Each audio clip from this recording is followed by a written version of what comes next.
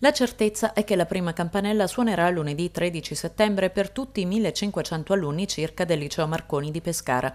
Quel che invece ancora non è certo è la sede che ospiterà 17 classi fino a ottobre, secondo il piano previsto per il ricollocamento delle 64 classi del liceo pescarese che si prepara ad affrontare una vera e propria diaspora in questo imminente anno scolastico per consentire l'abbattimento e la ricostruzione della storica sede di Via Marino da Caramanico.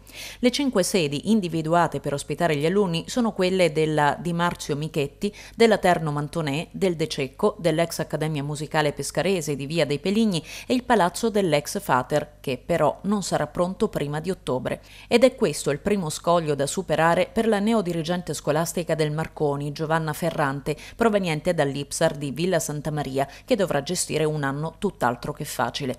Per quella che la sua prima intervista televisiva nelle vesti di nuova dirigente del Marconi, Marconi abbiamo raggiunto Giovanna Ferrante in via Vezzano, nei locali che la provincia di Pescara ha messo a disposizione per gli uffici della direzione e dell'amministrazione del Marconi. Ho ereditato una situazione abbastanza critica ma eh, nulla ci spaventa perché abbiamo la forza di, e la volontà e la passione e l'entusiasmo di voler trasformare tutte le negatività in positività ed è da questo che bisogna partire.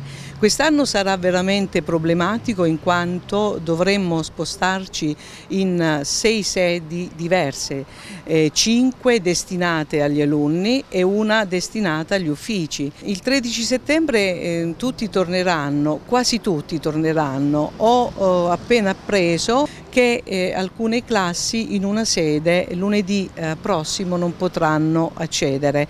Vedremo di trovare eh, in questi pochi, pochissimi giorni delle soluzioni alternative almeno per eh, un mese, un mese e mezzo perché le criticità di questa sede eh, investono circa 30-40 giorni. Cosa si fa? Didattica a distanza?